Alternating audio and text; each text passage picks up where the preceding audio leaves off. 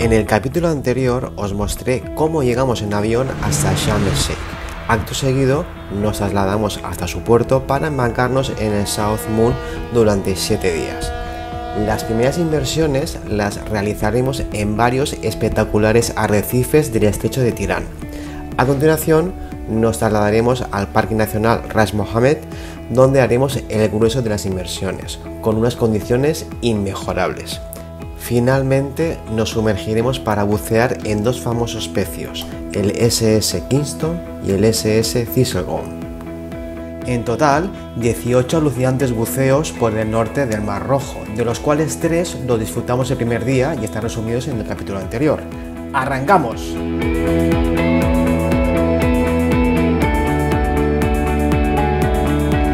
Antes de proseguir, ¿sabes por qué se llama Mar Rojo?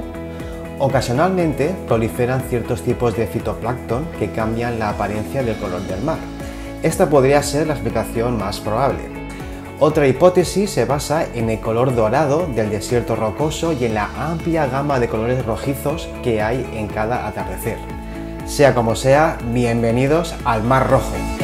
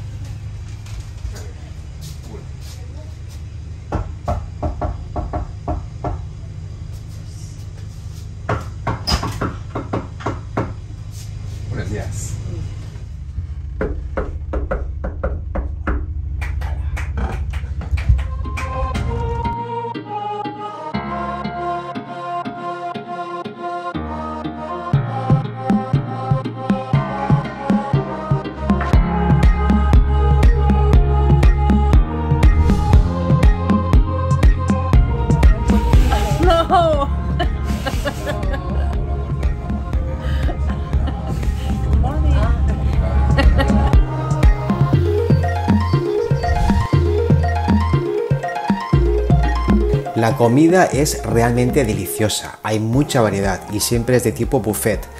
Toda la tripulación se muestra muy atenta y cariñosa a todas horas. Entonces probad la sopa que es especial y luego os diré qué es. Que aproveche. Con Borovic. Es que Hay una cosa pendiente que tenemos que hacer ahora en la cubierta de buceo. Y es importante que tú la sepas. No, no, no. Es muy No importante lo que vamos lo a hacer. Es No. importante lo sepas. Como instructor de buceo aquí en En el rojo, el Mar Rojo. casi 20 años. Dal 2005 Dal Eh, 2005. a Mare Rosso? al Mar Rosso sì, lavoro dal, al Mar Rosso, poi dopo sono andato in Italia per otto anni, sempre faccio insegno subacquee. Eh, realmente he dedicado 100%, llevo 12 años, pero ya antes lo compaginaba por lo menos 25 o 30 años compaginando mi actividad laboral con el- la organización de viajes de buceo. ¿El Mar Rojo aún mantiene su biodiversidad o has Sí, visto sí, sí, no ha cambiado nunca. Siempre el mismo. El, el Mar Rojo lo que tiene son los corales, eh, la cantidad de corales diferentes, el colorido, los arrecifes, la claridad de agua, eso lo diferencia. A ver, el Mar Rojo, si alguien no lo ha visto, es, es un pecado mortal. Con perdón. Pero, pero es verdad, es, es, es un paraíso. Debajo del agua es un paraíso. O sea, no es vida grande, pero los arrecifes que hay aquí son impresionantes. Mar Rojo, para mí, es el placer infinito. No me has pillado comiendo. No hay otro placer mejor que venir conmigo a Mar Eres Rojo. un, tonto, eres un tontorrón, pelón, tontorrón. La ¿Cuál, cuál serían los principales la peligros? pesca, ok, más las anclas de los barcos, los cabos en metal de los barcos y los gastos de los barcos que se quedan en el mar. La basura, tipo la basura, la gasolina, eso es el más peligro por el coral. O sea, sobre todo la acción humana. Sí, ¿Y el cambio climático? no, no afecta. No, no afecta El nada. aumento de la temperatura. Tampoco. Porque la misma temperatura sí sube un poquito, pero no sube demasiado. Baja un poquito, pero no baja demasiado. Cambia un poquito la temperatura, un poquito de grado, 12 grados menos de un año al otro año, pero más o menos la misma temperatura, entre 20 y 30 siempre. Bueno, yo siempre digo que este es como el primer destino o uno de los primeros destinos que cualquier buceador que quiera empezar a salir debería realizar, ¿no? Es un, es un destino, es un lugar tranquilo, con buceos relajados, eh, mar bastante controlado y, bueno, pues eh, donde es muy fácil empezar a desarrollar el buceo. Cualquier buceador que haya terminado un open water con pocas inversiones eh, puede venir aquí sin ningún problema.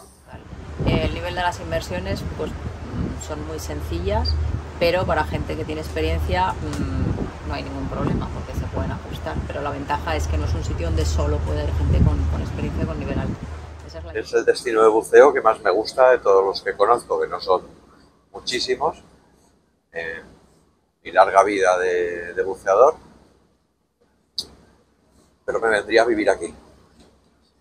Me encanta ese fondo azul, los azules, los peces payaso, los eh, unicornios, el rollo que hay en el barco, cómo nos tratan los compañeros, eh, la comida. No hay nada que no me guste. Solo necesito tiempo para venirme aquí y estar una temporada en, en Egipto. È un'esperienza meravigliosa. La mia vita sott'acqua nel Mar Rosso, perché è una cosa... no- non lo trovo in nessuna parte al mondo. Come barriera corallina, come pesci, come tutto, perfetto, meraviglioso.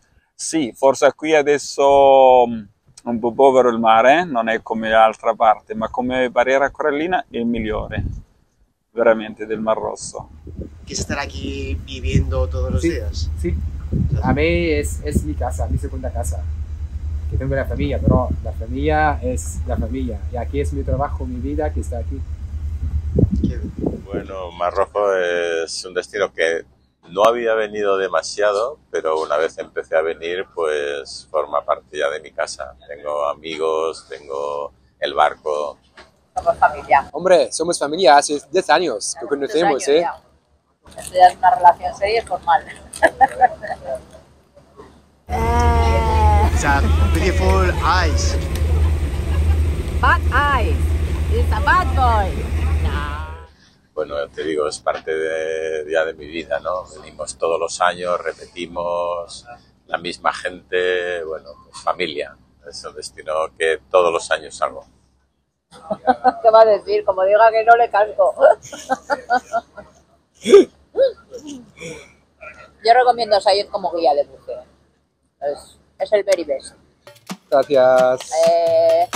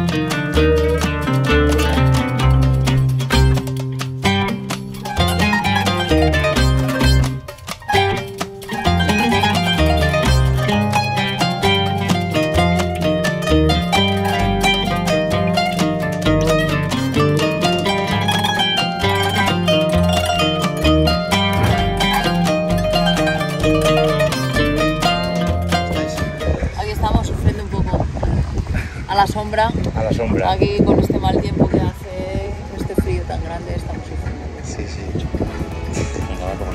Pucho, pucho,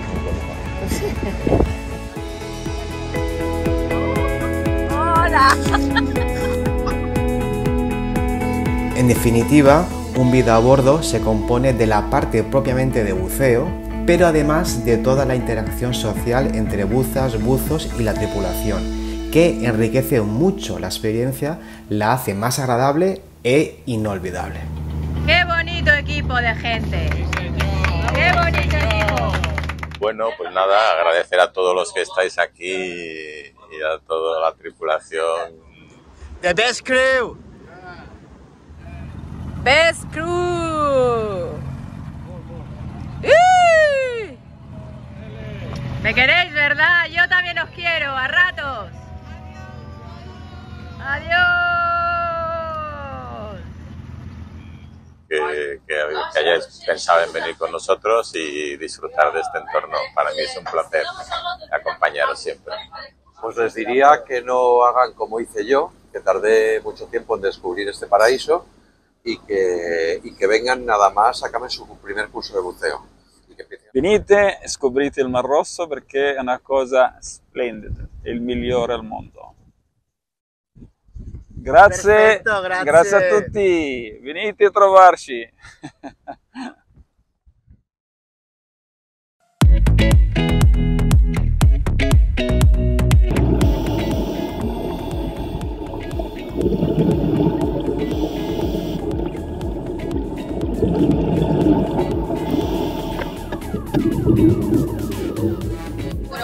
Solo Sayed. Pon un Sayed en tu vida. O sea, sin él nada, olvidaros.